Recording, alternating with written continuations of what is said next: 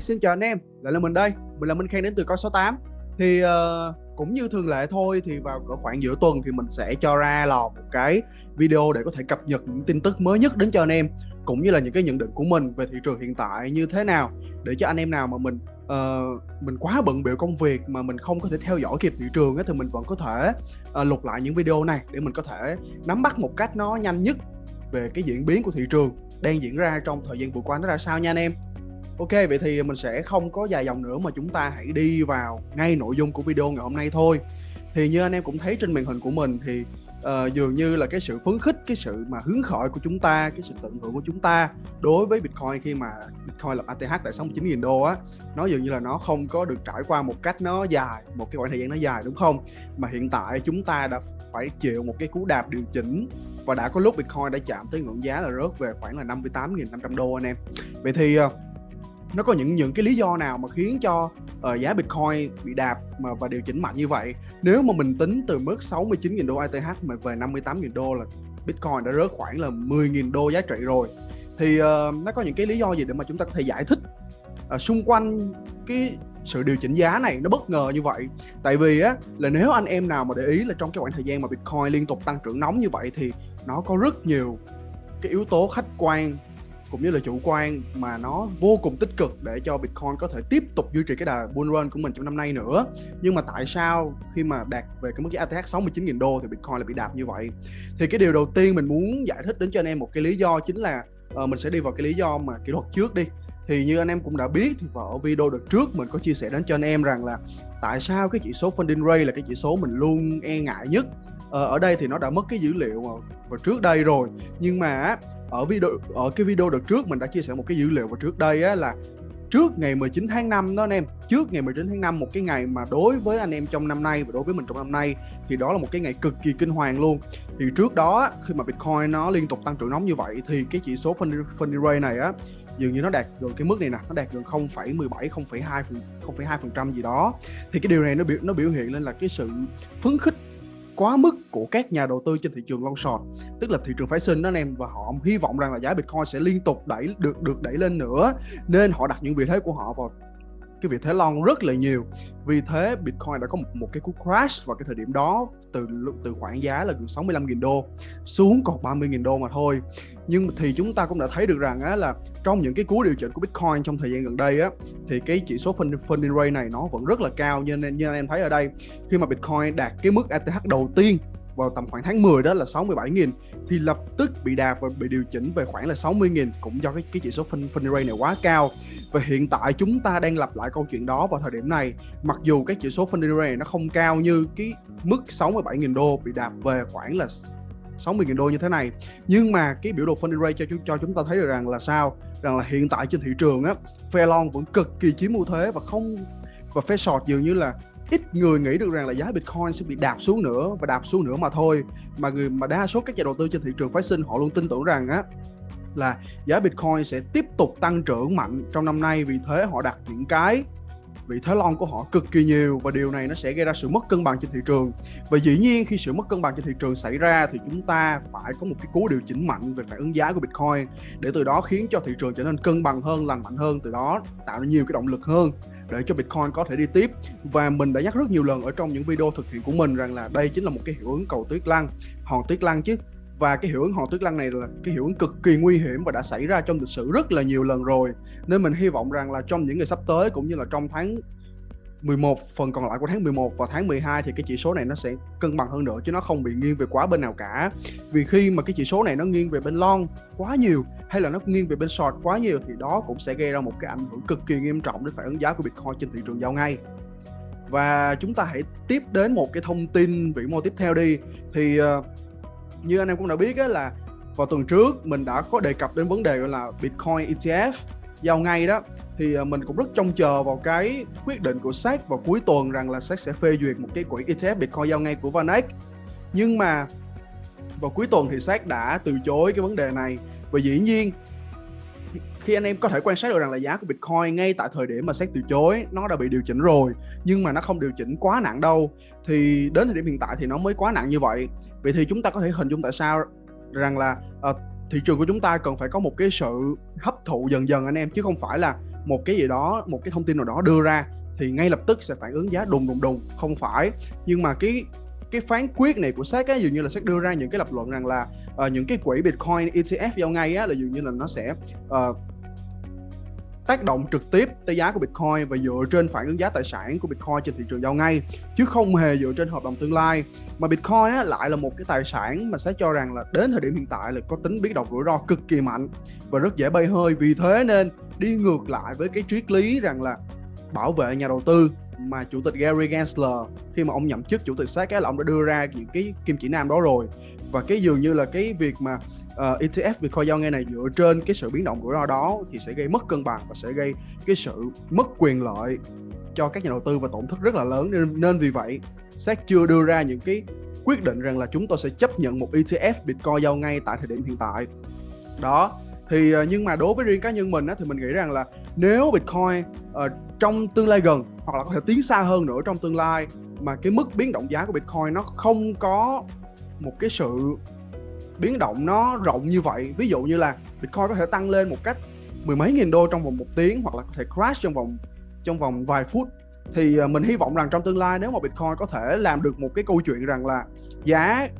của Bitcoin sẽ không có bị ảnh hưởng quá là nhiều với một với một cái biên độ rộng như vậy,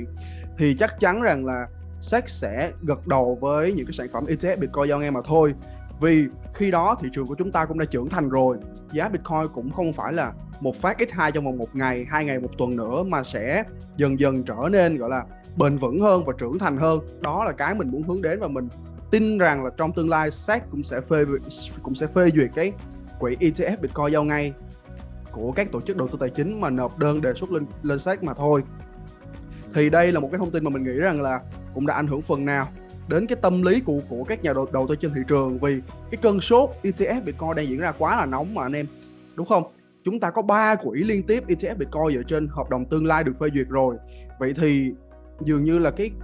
cái tâm điểm này nó được đẩy lên cao trào hơn khi mà mọi người đều hy vọng rằng là SEC sẽ dựa trên cái căn cứ đó để mà phê duyệt một quỹ ETF Bitcoin giao ngay nhưng cuối cùng lại bị đánh, lại bị đánh chặn ở cái phút cuối như vậy thì dĩ nhiên là nó sẽ tác động một phần nào đó tới tâm lý của các nhà đầu tư trên thị trường. Vì thế nó khiến giá của Bitcoin bị điều chỉnh như vậy. Đó và chúng ta tiếp đến thông tin vào khoảng đầu tuần nay đây. Thì uh, ở video đợt trước mình cũng có đề cập đến vấn đề gọi là uh, cái dự luật cơ sở hạ tầng của Mỹ đó anh em. Thì đến thời điểm hiện tại thì tổng thống Joe Biden ông đã ký và phê duyệt cái dự luật này rồi. Và dự luật á, nó sẽ chính thức được triển khai vào năm 2024 vì thế chúng ta vẫn có thể hoàn toàn tự tin hy vọng rằng là sẽ có những cái sửa đổi sau đó. Giữa hạ viện giữa nghị viện họ sẽ làm mọi cách. Những cái người mà họ bảo vệ uh, quyền lợi của, của các nhà đầu tư ở trong thị trường tiền mã hóa này và họ không đồng ý với cái khái niệm rằng là những nhà môi giới tiền mã hóa nó rộng như vậy điều đó sẽ gây bất lợi trong cái việc thực thi và sẽ ảnh hưởng trực tiếp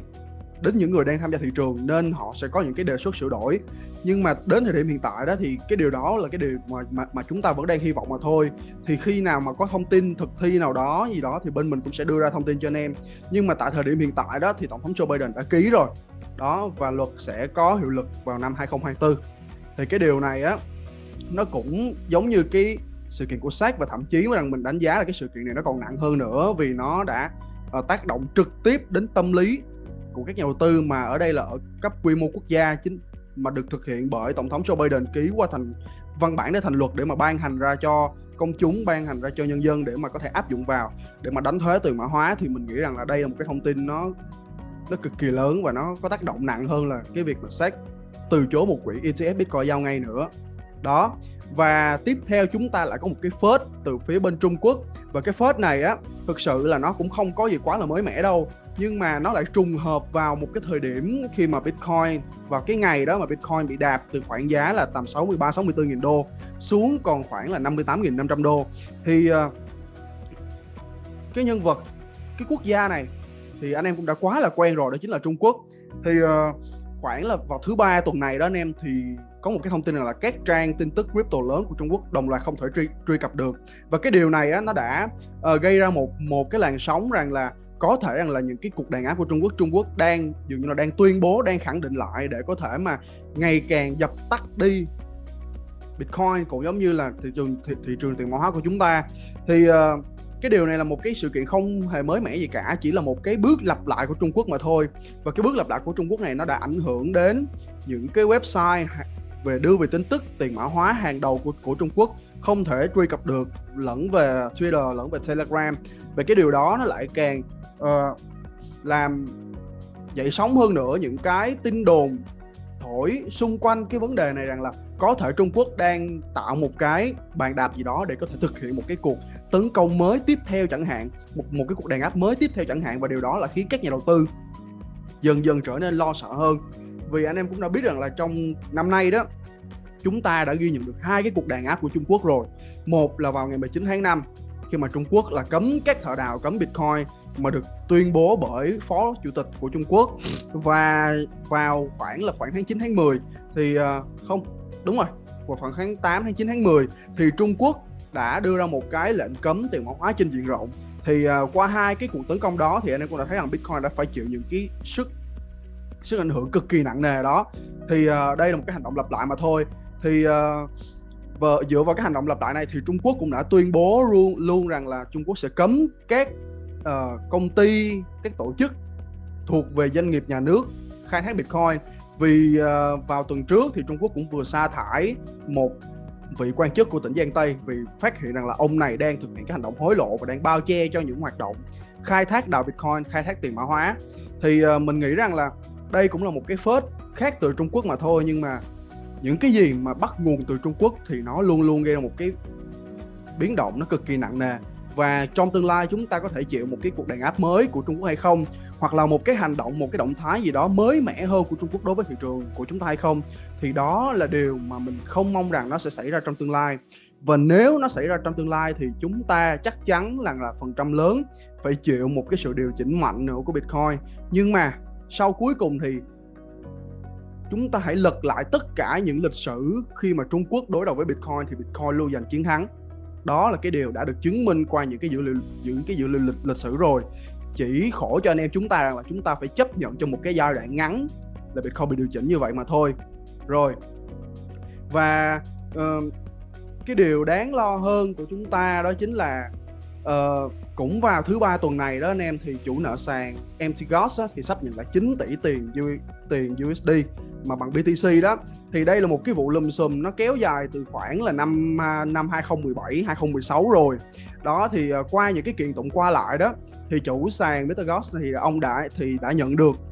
cái sự hợp pháp cái sự hợp pháp về uh, về mặt chính quyền về mặt giấy tờ để có thể nhận lại cái khoản bồi thường của mình. Thì cái khoản bồi thường này đó nó lên tới khoảng là 9 tỷ USD Bitcoin nha anh em. Và các nhà đầu tư khi mà họ nhận được cái thông tin này đó thì họ cũng đã uh, dè dặt cũng đã khá là cũng đã khá là e ngại nếu mà cái khoản tiền này được đưa đến tay của sàn Antigos và, và được xả ra trên thị trường của chúng ta thì liệu nó có gây ra một cái câu chuyện giảm giá hay không. Thì ờ, chúng ta ở đây chúng ta cũng đã thấy được rằng là những cái người những những, những cái chuyên gia của những cái quỹ uy tín như là ông Andrew Feldman đó ở Blocktown Capital đó thì ông nói rằng đó là cái ngày mà MT Gox nhận được cái khoản tiền bồi thường này thì cái ngày đó có khả năng cao là chúng ta sẽ có một cái biến động lớn và biến động lớn ở đây nó thiên về cái chiều hướng là chiều hướng giảm giá nhiều hơn là tăng giá. Vì anh em có thể thấy được rằng là với cái số tiền cực kỳ kinh khủng là 9 tỷ USD Bitcoin mà xả ra, mà xả ra thị trường thì nó sẽ như thế nào, đúng không? Nhưng mà ở đây nó cũng có, nó được, cũng có một cái điểm sáng rằng là theo cá nhân quan điểm mình, nó cũng có một cái điểm sáng là nếu mà Bitcoin có thể hấp thụ được những cái tin như thế này và thực tế nếu mà có trường hợp rằng là 9 tỷ USD này được xả ra dần dần mà Bitcoin có thể hấp thụ được, có thể giải quyết trọn vẹn được thì có lẽ là sẽ không có một cái gì có thể ngăn cản Bitcoin ngay tại lúc này trước khi tiến đến một cái đà tăng giá cao hơn vào trong cuối năm. Vậy thì chúng ta có những cái sự hậu thuẫn nào? Thì mình cũng chia sẻ cho anh em ở đây chính là ba ví đây ba ví cá voi lớn nhất của thị trường thì vào sáng nay khi mà mình vào mình check ví cá voi thứ ba đó anh em thì mình sẽ click vào cho anh em xem. Mình check vào cái ví cá voi lớn thứ ba đó. Thì vào sáng nay, ví cá voi này, vào ngày 18 tháng 11 nè anh em. Đó, thì ví cá voi này đã bổ sung thêm 700 BTC ở một mức giá gọi là 60.499 đô. Khi mà chúng ta nhìn lại giá BTC đang ở giá hiện tại đi, là 59.000 đô thì có lẽ chúng ta cho rằng là chú cá voi này đang đu đỉnh, đúng không? Nhưng mà hãy nhìn vào cái lượt sử vào tháng, vào những cái thương vụ mua bán của chú cá voi này, vào tháng 11 thì mình tổng cộng lại nha à, từ đây kéo lên đây. 1.600, 270, 1.100, 700 thì tổng cộng nó rơi vào khoảng tầm là 3.700 Bitcoin. 3.700 Bitcoin chỉ riêng trong chỉ riêng trong cỡ khoảng là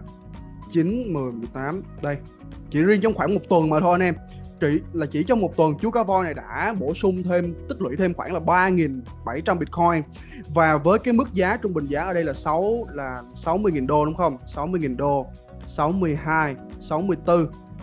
và ở đây là 67 thì nó rơi đâu đó vào khoảng trung bình giá trong cái thương vụ mua trong vòng một tuần của 3.700 Bitcoin này, nó rơi đâu đó vào khoảng trung bình giá là 61.000 cho mỗi Bitcoin mà chú cá voi này đã bổ sung vào. Thì ờ, ở đây chúng ta thấy rằng là Bitcoin đang giao dịch ở mức gọi là 59.692 đô. Thì có lẽ là chú cá voi này đang đu đỉnh, đúng không? Nhưng mà thực sự mình nghĩ rằng đây là vấn đề không phải như vậy. Mà vào cái mức giá này thì những cái ví cá voi lớn trên thế giới, họ cho rằng đây có thể, đây có thể sẽ là mức đáy của Bitcoin rồi. Và khi họ cho rằng đây là mức đáy của Bitcoin thì họ sẽ tích cực bổ sung một cách nó rất là nhanh và nó nhanh nhất có thể mà thôi. Chúng ta thấy chú cá voi này hành động cực kỳ nhanh. Đó, từ ngày 9 đến ngày 18 mà đã bổ sung thêm gần 3.700 Bitcoin. Và nếu chúng ta quy ra giá trị của USD đó, thì nó rơi vào tầm khoảng là 230 triệu đô. Nó tương, nó nó tương tự như một cái một cái quỹ của một cái dự án nào đó họ lập quỹ để họ thúc đẩy cái sự phát triển hệ, hệ sinh thái của họ vậy anh em mà cái đó là ở cái tầm tổ chức mà ở đây chúng ta thấy cái ví này là nó ở mức cá nhân nha anh em đó thì uh, chúng ta có thể hoàn toàn dựa vào dữ liệu này để có thể phán đoán ra được rằng là cái mức giá hiện tại của Bitcoin từ 59 60 000 đô thì nó đã là cái mức uh, dường như là mức đáy của cái đợt điều chỉnh này rồi đó. Ok, vậy thì uh, dựa vậy thì dựa trên cái dữ liệu cá voi này thì mình cũng muốn chia sẻ cho anh em là Ờ, và trong tuần này đó chúng ta đã có những cái luồng thông tin như là những ví cá voi xuất hiện từ năm 2010 những ví cá voi xuất hiện từ năm 2013 đã đột ngột tỉnh giấc với cái số lượng là uh, bao nhiêu triệu đô đó bao nhiêu triệu đô đó. Thì cái điều này á mình nghĩ rằng là nó cũng tác động một phần nào đó đến tâm lý các nhà giao dịch rằng là những ví cá voi này sẽ xả. Cộng với cái thông tin rằng là chủ nợ sàn MT God này sắp nhận lại 9 tỷ này nữa. Nên rằng là cái cuộc điều chỉnh này mình nghĩ rằng là nó sẽ đi tầm khoảng từ đây tới cuối tuần và đến tuần sau thì nó sẽ bắt đầu nó tăng trưởng trở lại. Và cái điều này cũng là cái điều dễ hiểu mà thôi và anh em cũng đừng đến quá lo lắng vì vậy vậy thì tại sao lại như vậy? Tại sao mình lại khẳng định như vậy? Tại vì nếu anh em nhìn vào á vào khoảng cuối tháng 10 đi cuối tháng 10 là vào khoảng tầm từ ngày 25 tháng 10 trở đi đó thì chúng ta liên tục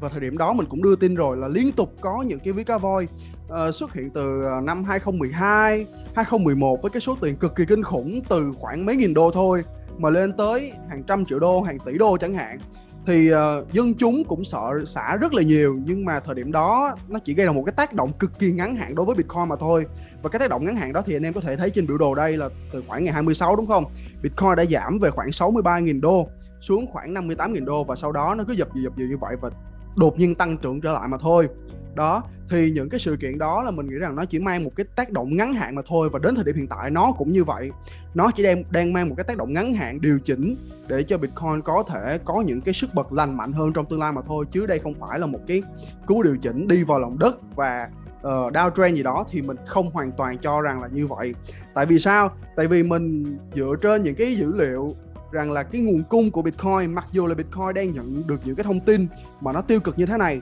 nhưng mà nguồn cung của Bitcoin mình quan sát trên chỉ, trên biểu đồ của CryptoCoin đó thì nó vẫn cứ liên tục đi xuống mà thôi ở trên các sàn giao dịch. Điều này chứng tỏ rằng là cái sự tiếp cận Bitcoin đối với các nhà đầu tư là họ vẫn họ vẫn thu mua mà thôi, chứ họ không có nhu cầu đẩy lên sàn để mà bán làm gì cả. Và cái số lượng bán của chúng ta chỉ đến từ một số lượng các nhà đầu tư nhỏ lại rất ít mà thôi đó và mình cũng muốn chia sẻ thêm cho anh em là một cái chỉ số rằng là uh, hiện tại nếu nói về cái chỉ số nguồn cung của Bitcoin ở ở ở trên các sàn giao dịch đó thì bây giờ chỉ còn khoảng là 12,9% nguồn cung của Bitcoin mà thôi. Đó thì uh, ở đây chúng ta thấy rằng là cái chỉ số 12,9% này nó tương tự với nó tương tự với cái đợt mà khoảng là năm 2019 tới năm 2020 thì thì nó tương tự như cái đợt này đó, và khi mà anh em biết được rằng á, khi mà giá bitcoin nó cao như vậy rồi, mà cái chỉ số nguồn cung của chúng ta lại cực kỳ thấp và chúng ta so sánh qua giữa cái giai đoạn giảm, cuối chu kỳ giảm của thị trường á, vào khoảng năm 2019 và năm 2020 đó, thì cái nguồn cung nó tương tự như vậy. Và anh em thấy khi nguồn cung tương tự như vậy thì giá Bitcoin nó đã di chuyển như thế nào? Và nếu chúng ta thiết lập một cái mô hình tương tự khi mà nguồn cung đang như thế này và nó đang có xu hướng là nó chống xuống nữa nó ngày càng đi xuống nữa thì giá của Bitcoin của chúng ta sẽ tăng trưởng tương tự như mô hình như thế này. Thì đây cũng là một cái dữ liệu mà anh em có thể để mắt tới. Tiếp theo chúng ta hãy đến với cái dữ liệu mà nguồn cung hoàn trả của Bitcoin đi. Thì ở đây mình sẽ dữ liệu mình sẽ sử dụng một cái biểu đồ của Glassnode là ở đây á, cái chỉ số này là cái cái cái chỉ số nguồn cung hoàn trả. Tức là sao? Tức là uh, cái số lượng bitcoin mà những người holder họ nắm trên một năm đó họ giữ trên một năm và họ hoàn trả lại thị trường. Tức là họ bán ngược lại cho thị trường đó anh em thì mình gọi tóm tắt ở đây chính là cái nguồn cung hoàn trả lại. Đó ví dụ nha anh em nắm một cái dự án nắm một cái đồng coin nào đó trong một khoảng thời gian đúng không? Anh em sẽ làm mất đi một cái lượng phần trăm nguồn cung của nó. Và sau một năm anh em lại đưa lên sàn anh em bán ra thì tức là anh em đã hoàn trả được nguồn cung cho nó rồi. Và cái biểu đồ này nó minh chứng cho cái điều đó. Nó minh chứng cho cái nguồn cung hoàn trả của bitcoin trong vòng một năm qua đó. Thì ở đây á như anh em thấy chúng ta có một cái chu kỳ bull run vào năm 2017 thì chúng ta có khoảng là 16,5 nghìn Bitcoin được hoàn trả đúng không? Được hoàn trả mỗi ngày. Dựa trên cái chỉ số này vào năm 2019 đó là cuối của khoảng là chu kỳ downtrend đó thì chúng ta có 15.000 Bitcoin được hoàn trả mỗi ngày và thời điểm hiện tại đó chúng ta và cái thời khoảng là năm 2020 đến năm 2021 thì chúng ta có 22.000 Bitcoin được hoàn trả mỗi ngày nhưng mà tại thời điểm hiện tại đó chúng ta đang chỉ có 6.500 Bitcoin được hoàn trả mỗi ngày mà thôi. Đó, và cái 6.500 Bitcoin được hoàn trả mỗi ngày, điều này nó càng, nó đã chứng tỏ cho chúng ta một cái dấu hiệu được rằng là những cái người mà holder Bitcoin lâu năm, trên một năm, những nhà nắm giữ Bitcoin, họ đang không có mong muốn đưa cái số Bitcoin của họ từ trong ví lên sàn để bán để mà chuyển đổi qua USD làm gì cả. Vì vậy nên cái số lượng hoàn trả lại nguồn của Bitcoin này nó mới thấp như vậy. Và anh em có thể dễ dàng nhận biết được một điều rằng là năm 2017 cái chỉ số 16.000 16,5 nghìn Bitcoin được hoàn trả này. Đây đây chính là cái chu kỳ uptrend của chúng ta. Và đây chính là cái chu kỳ cuối của của downtrend. Và đây chính là bắt đầu một chu kỳ down, một chu kỳ uptrend mới. Và hiện tại chúng ta đang dừng ở 6.500 Bitcoin được hoàn trả mỗi ngày. Vậy thì cái câu chuyện diễn biến tiếp theo rằng là chúng ta sẽ bước tới một cái chu kỳ downtrend hay là chúng ta sẽ bước tới một cái chu kỳ uptrend mới. Thì anh em đã hình dung ra được một cái câu chuyện giống mình hay chưa? Khi chúng ta đã có những cái dữ liệu hoàn trả tuyệt vời như thế này rồi, thì cái phần trăm nghĩ rằng là những chu kỳ sắp tới sẽ là chu kỳ downtrend thì mình nghĩ rằng là cái phần trăm xác suất xảy ra của nó sẽ là nhỏ mà thôi. Và xu hướng của mình vẫn là xu hướng tăng trưởng từ đây đến cuối năm và có thể kéo dài qua nửa năm sau. Ok, vậy thì chúng ta đã điểm qua một số cái, những cái thông tin on-chain về Bitcoin rồi. Và một cái lý do nữa để mình có thể tích cực vào, vào, vào cái thời điểm hiện tại mà muốn chia sẻ đến cho anh em tức là mặc dù cái thị trường của chúng ta phải chịu một cái sự điều chỉnh như vậy và toàn bộ altcoin đều bị gãy hết nhưng mà chúng ta đã nhận được những cái tín hiệu vô cùng tích cực từ các quỹ đầu đầu tư tổ chức cũng giống như là các chính bản thân các dự án đang tham gia vào thị trường nữa. Thì uh, trong tuần qua đó thì chúng ta đã ghi nhận một cái cột mốc cực kỳ lớn đó chính là quỹ đó chính là quỹ Paradigm ha. Thì anh em thấy quỹ Paradigm này á nó đã triển khai một cái quỹ đầu tư trị giá là 2, tỷ USD đó và cái quỹ này sẽ tập trung vào những cái dự án những cái quỹ tiềm năng ở trong thị trường tiền mã hóa của chúng ta. Thì giống như anh em cũng đã biết rồi đó thì cái thì cái quỹ Paradigm này á là một cái quỹ dường như là cực kỳ sương sỏ và nếu mình không muốn nói một cách nó quá lố rằng là uh, quỹ Paradigm là một trong quỹ lớn nhất đầu tư về mảng crypto này và có uy tín dường như là hàng đầu thì đã thì quỹ này đã lập tức hành động bằng cách là triển khai một cái gói như thế này. Và cái gói này bây giờ là lớn nhất của ngành tiền mã hóa của chúng ta rồi. Thì uh, tại sao trước đây quỹ Paradigm không có uh, tung ra những cái gói như thế này? Mà đến thời điểm hiện tại khi mà uh, thị trường đang điều chỉnh rồi và sau những cái cú tăng nóng của Bitcoin thì Paradigm lại tung ra một cái quỹ như vậy để có thể tiếp cận để có thể đầu tư sâu hơn vào vào lĩnh vực này. Thì nó cũng hình dung cho chúng ta một cái câu chuyện rằng là uh, trước khi mà họ triển khai một cái quỹ nào đó thì họ phải cũng có họ phải có những cái đội ngũ phân tích phía sau đúng không? Uh, họ phân tích thị trường như thế nào họ phân tích tiềm năng như thế nào thì họ mới mới quyết định đưa ra một cái nút then chốt cuối cùng là chúng tôi sẽ đưa ra một một cái khoản đầu tư nào đó. Thì đây cũng giống như là một cái dấu ấn để mà các nhà đầu tư nhỏ lẻ như chúng ta như mình và anh em có thể tin tưởng vào thì uh, Paradigm này cũng là uh, một cái quỹ mà chuyên về những cái dự án tốt trên thị trường. Thì nếu anh em nào mà có săn những cái con altcoin như thế nào thì anh em có thể uh, vào Paradigm này để xem là uh, cái quỹ này họ đang đầu tư vào những altcoin nào để từ đó mình có thể tìm hiểu và đưa ra những cái quyết định uh, đúng đắn nhất cho bản thân mình nha. Và không chỉ Paradigm đâu thì uh, trong tuần này đó thì mình ghi nhận cực kỳ nhiều những cái dự án cũng giống như là những cái công ty họ đưa ra những cái mức huy động vốn những cái mức gọi vốn những cái mức đầu tư mà ở đây nếu mà mình trình bày cho anh em thì chắc là cái video này nó sẽ kéo dài đến một tiếng hai tiếng mất. Thì mình ở đây mình chỉ à, đưa ra cho anh em những cái tiêu biểu thôi. Như mà như là Paradigm chúng ta có hai chúng ta có 2,5 tỷ. Như là công ty đứng sau MetaMask á, là là Consensus á, thì chúng ta có phải gọi vốn là 200 triệu. Và KuCoin cũng đã bước chân vào thị trường Metaverse rồi là 100 triệu. Thì à, và có khoảng vào tuần trước á, thì chúng ta có một cái một cái chú kỳ lân game nữa, đó chính là Forbes thì là mình nhớ không nhầm là khoảng là 750 triệu đó anh em. Thì dần dần chúng ta cũng cảm thấy được rằng á, là đến thời điểm hiện tại tại sao khi thị trường bắt đầu điều chỉnh như thế này thì những cái quỹ, những cái dự án họ lại liên tục trình làng những cái quỹ đầu tư của họ như vậy? Điều này chúng ta nên đặt dấu hỏi là tại sao, có phải là đây là một cái thời cơ tốt nhất để mà họ có thể họ tiến triển những cái chiến lược khác của họ trong năm nay? Và thậm chí trong một, hai năm sau hay không, thì đây cũng là một cái thông tin mà mình nghĩ là anh em cũng nên cần chú ý. Vì khi mà họ tung ra một cái quỹ nào đó thì đó không phải là một cái quỹ tượng trưng hay gì cả, mà đó chính là họ đang dự phóng được rằng là thị trường của chúng ta sẽ đạt đến đâu trong tương lai. Và cùng với đó thì chúng ta có, thì chúng ta đã ghi nhận được những cái đồng altcoin mà mình nghĩ rằng là những cái đồng altcoin này nó cũng không có phải là mới mẻ gì trên trên thị trường. Nếu chúng ta không muốn nói rằng là những đồng altcoin này là những đồng altcoin đã quá là lỗi thời cũng đã quá là cũ rồi đó chúng là đó chính là VET nè đó chính đó chính là IOTEX nè và đó chính là I, IOTA. Thì uh, tại sao mình lại đề cập đến vấn đề này? Tức là cái thị trường của chúng ta anh em thấy dần dần á chúng ta có hàng loạt những những những dự án ra đời những dự án thế hệ mới đúng không? Và những dự án thế hệ cũ là dường như họ đang bị hụt hơi và họ đang bị bỏ sau những dự án thế hệ mới này. Nhưng mà riêng trong tuần này đó thì chúng ta thấy rằng là VET nè cũng đã nâng cấp thành công lên Proof of Authority 2.0 chúng ta có IOETEX phá đỉnh luôn và bắt đầu lớn sân sang chuyển sang lĩnh vực uh, machine file NFT và chúng ta có Ionita cũng đã cho ra mắt mạng thử nghiệm Simmer của mình. Vậy thì uh, cái điều này á nó đã hình dung trong đầu mình một cái cuộc cạnh tranh đang dần được thổi bùng trở lại giữa các nền tảng thế hệ cũ và các nền tảng thế hệ mới. Và cái sự cạnh tranh này á là một cái tín hiệu cực kỳ tốt cho thị trường của chúng ta. Nếu mà cái thị trường của chúng ta à, li, là liên tục có những cái dự án mới xuất hiện và chúng ta bỏ quên đi những dự án cũ hoặc là những những dự án cũ họ không có làm nữa mà họ để cho những những những dự án mới thay thế thì nó dường như nó không tạo ra một một cái sức cạnh tranh để giúp cho cho thị trường của chúng ta đi lên. Ví dụ như anh em có thể thấy rằng là um, trên thị trường công nghệ chúng ta có những uh, gà khổng lồ như là Apple, Microsoft đúng không? Hoặc là những gà khổng lồ khác. Thì uh, nếu mà một cái gì đó nó duy trì một cái sự đổi mới nó duy trì một cái sự độc tôn quá là nhiều thì dường như là cái thị trường đó nó sẽ không phát triển. Đó thì à, chúng ta hãy hình dung một cái bức tranh so sánh như vậy đi. Hiện tại mình chắc chắn là rất nhiều anh em đang sử dụng iPhone đúng không? Đang sử dụng Apple. Nhưng mà anh em vẫn đang dùng máy tính là dùng máy tính thuộc hệ Windows của của, của Microsoft. Thì trong thị trường tiền mã hóa của chúng ta cũng y chang như vậy cái điều này là các nền tảng hơi cũ họ bắt đầu họ hành động họ bắt đầu họ uh, tích cực phát triển mạnh mẽ hơn họ cạnh tranh với những thế hệ mới. Và những thế hệ mới họ không thể nào chủ quan rằng là ờ tôi là người mới tôi là uh, một cái nền tảng ra đời sau ông có thể kế thừa được những cái gì tinh túy nhất từ những thế hệ cũ. Và tôi sẽ chủ quan về cái vấn đề này không phải. Nếu mà anh là một người mới anh là một thế hệ mới anh kế thừa được những cái tinh hoa đó mà anh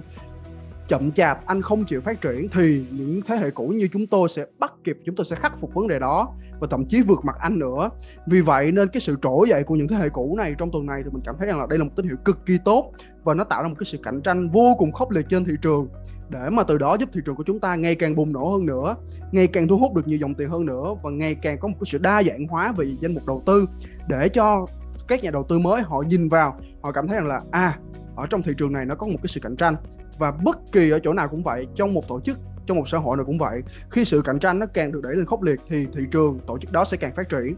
Đó thì ờ, ở đây anh em thấy là chúng ta có vết như mình vừa trình bày vừa rồi thì cũng đã, cũng đã nâng cấp lên là POA 2.0 chúng ta có IOTEX và đặc biệt đó là chúng ta có I IOTA và đã phát triển mạng thử nghiệm Simmer. Và anh em có thể hình dung một cách đơn giản rằng á, là mạng thử nghiệm Simmer này á, nó cũng tương tự như là mạng thử nghiệm của Kusama bên bên Polkadot vậy. Thì uh, dần dần mình đã cảm thấy rằng là những cái người tiên phong đó như là Ethereum như là Polkadot như là Binance Smart Chain như là như, như là Binance Smart Chain đó thì uh, những cái đó là những cái nền tảng lớn và họ đưa ra những cái chiến lược những cái chiến dịch nó đầu tiên như vậy. Như là chúng ta thấy là bên ờ, bên Polkadot họ có mạng thử nghiệm Kusama đúng không? Thì bây giờ chúng ta đã có mạng thử nghiệm Shimmer thì nó cũng tương tự như cái mô hình như vậy. Và tầm vào khoảng tháng 10 đó thì chúng ta cũng đã có mạng thí nghiệm mạng thử nghiệm Sagan của bên chỗ mà Cosmos Adam đó anh em. Thì dần dần á chúng ta thấy rằng cái cơ chế đưa ra mạng thử nghiệm Kusama của, của Polkadot dường như là nó đã có một cái những cái sự thành công nhất định và nó khiến cho các đối thủ như là IOETA như là Adam hoặc là trong tương lai sẽ có nhiều đối thủ khác họ tận dụng họ kế thừa họ tiếp thu những cái bước phát triển này đó. Và từ điều đó chúng ta có thể thấy rằng là những cái bước tiên phong như là mạng của Sama Polkadot đấu giá Parachain thì khi mà nó được đẩy bởi những cái dự án đối thủ cạnh tranh họ tiếp nhận cái chiến lược đó thì dĩ nhiên rằng cái nguồn tiền nó sẽ hút thêm vào những cái người mà họ tiên phong về cái vấn đề đó nhiều hơn. Đó là cái lý do tại sao mà trong những video của mình mình luôn nhắc anh em về là uh, mình rất là hy vọng trong cuối năm nay hoặc là trong năm sau sẽ là một cái năm cực kỳ bùng nổ của Polkadot là vậy tại vì đó là quan điểm cá nhân của mình thôi chứ mình không hề siêu Polkadot tí nào nha anh em. Đó. Và à, chúng ta hãy để chúng ta hãy để ý đi thì hiện tại đó là bên Binance Smart Chain bên sàn Binance đó thì họ có một cái chiến dịch gọi là chiến dịch Launchpad thì à, nó cũng tương tự như là ở bên đấu giá Para, Parachain của Polkadot vậy chỉ là nó khác cái tên gọi và khác cái hình thức thôi. Nhưng mà nó cũng tương tự như một cái mô hình rằng là chúng tôi sẽ chọn ra những dự án chất lượng được huy động bởi cộng đồng được cộng đồng ủng hộ nhiều bằng cách lock BNB ở, ở bên Binance Smart Chain và lock DOT ở bên đấu giá Parachain vậy. Thì đối với những cái người họ kế, đối với những cái nền tảng kế thừa như Ionita hoặc là Cosmos Adam hoặc là trong tương lai sẽ có nhiều nhiều cái nền tảng khác thì chúng ta sẽ càng có nhiều cái cuộc chơi hơn. Thì lúc đó sẽ có nhiều dự án họ đổ vào họ xây dựng trên những cái mạng như thế này. Thì lúc đó chúng ta sẽ có nhiều cái tên gọi khác nhau. Có thể sẽ không phải là Binance Launchpad, có thể sẽ không phải là Parachain mà là một cái gì đó. Thì nó lại càng scale up cái cái mà à, cuộc chơi cái giao diện chơi của người dùng hơn nữa trong cái vấn đề gọi là tìm những cái dự án cốt lõi những cái dự án tiềm năng trong tương lai. Đó anh em và cái điều đó là một cái nguồn tiền thu hút rất là lớn đối với người mới. Và à, tiếp theo một cái xu hướng mà mình muốn đề cập cuối cùng trong video đến cho anh em chính là xu hướng về social token. Thì hiện tại đó social token là gì? Thì ở đây á bên mình đã có một cái bài viết cực kỳ chi tiết để cho anh em nào để ý về cái mảng này đó thì anh em có thể click vào đây để mà đọc thì mình sẽ để cái đường link bên dưới cho anh em. Thì đại khái á, là cũng trong thời gian là khoảng một tháng trở lại đây thì chúng ta đã thấy được rằng là à, cái cơn sóng mà kết nối giữa thị trường crypto của chúng ta và lĩnh vực thể thao là nó mạnh như thế nào. Như ở trong video đợt trước mình làm về video về Engine Coin cũng như là thế giới blockchain game NFT và mảng thể thao truyền thống nó sẽ như thế nào và cái tiềm năng phát triển của nó có bùng nổ trong tương lai hay không, thì anh em có thể tìm lại video đó để mà mình có thể mình tìm hiểu sâu hơn nha. Còn ở đây đó, chúng ta có thể thấy được rằng á, là cũng ngay vào thứ ba thì sàn crypto.com đó đã chi khoảng là 700 triệu USD để có thể mua quyền đặt tên sân thể thao biểu tượng của thành phố Los Angeles. Thì ở đây á, đây là đây là một cái thương vụ, gọi là cái thương vụ mua lại quyền đặt tên lớn nhất trong lịch sử ngành, trong lịch sử thể thao của Hoa Kỳ luôn. Và ở dưới đây đó, bên mình cũng đã đề cập hàng loạt những thương vụ thể thao trong năm nay. Như là anh em có thể thấy rằng là chúng ta có kẻ tiên phong FTX đã đặt tên, đã mua lại quyền đặt tên của sân vận động của sân vận động Miami. Chúng ta có sàn Coinbase, chúng ta có crypto.com chúng ta có những mạng thể thao liên quan như là về mặt, về mạng bóng đá, về mạng thể thao điện tử, bóng chày, bóng bầu dục, bóng rổ, rất nhiều rất nhiều và rất nhiều. Thì dần dần đó bây giờ đến thời điểm hiện tại nó đã hình thành ở một một cái xu hướng rồi. Và một cái xu hướng đó mà mình gọi đó chính là social token. Thì uh, đây anh em có thể truy cập vào, vào cái bài viết này. Và à, cũng trong ngày cũng cũng cũng trong ngày mà thứ ba thứ tư thì sàn Bybit đó đây cũng trở thành nhà tài trợ toàn cầu cho đội tuyển bóng đá bóng đá quốc gia Argentina. Thì uh, chắc chắn thôi chắc chắn là trong năm sau hoặc là trong một tương lai gần thì cái sự kết nối giữa lĩnh vực thể thao và lĩnh vực uh, crypto sẽ ngày càng gắn chặt hơn và những cái thương vụ đầu tư cực kỳ khổng lồ như thế này sẽ tạo ra một cái tiếng vang mới cho chúng ta và tiếng vang đó sẽ được đặt ở lĩnh vực social token. Và đó cũng chính là cái lý do tại sao mà mình uh, chia sẻ cho anh em rằng là đây cũng là một cái xu hướng rất đáng được quan tâm trong thời gian sắp tới. Và anh em có thể tìm hiểu về cái mảng này để có thể bổ sung cho mình thêm kiến thức cũng giống như là à, đa dạng hóa cái danh mục đầu tư của mình khi mình tham gia vào, vào thị trường nữa. Ok vậy thì à, đến đây video cũng đã khá là dài rồi nên mình cũng xin kết thúc những cái thông tin chia sẻ của mình trong ngày hôm nay. À, cảm ơn anh em đã theo dõi mình nha. Hẹn gặp lại anh em và chào anh em vào những video tiếp theo. Bye bye.